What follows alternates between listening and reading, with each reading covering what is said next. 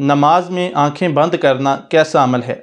तो नाजरीन मोहतरम, इस हवाले से याद रखिए कि नमाज़ एक ऐसी इबादत है कि जिसमें बंदे के जिसम का हर हर उज़व इबादत में मसरूफ़ होता है।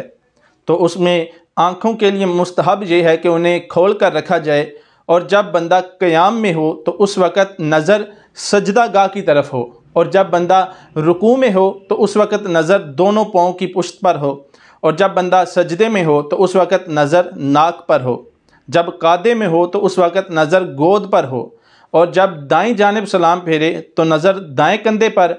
और जब बाएँ जानब सलाम फेरे तो नज़र बाएँ कंधे पर हो। यह नमाज़ के लिए मुस्तहब है। हाँ अगर कोई शख्स नमाज़ में आँखें बंद कर लेता है तो इसको नाजायज़ या गुनाह तो नहीं कहेंगे, लेकिन अलबत्त ये मकरू तनजीही है, यानी एक नापसंदीदा अमल है। बेहतर ये है कि नमाज़ आँखें खोल कर अदा की जाए। लेकिन एक सूरत में आँखें बंद करना जायज़ है। वो ये है कि अगर किसी शख्स को आँखें बंद करके नमाज़ में ज़्यादा खुशु खजू हासिल होता है, बनस्बत आँखें खोलने के तो उसके लिए जायज़ है कि वह नमाज़ में आँखें बंद करके नमाज़ पढ़ सकता है।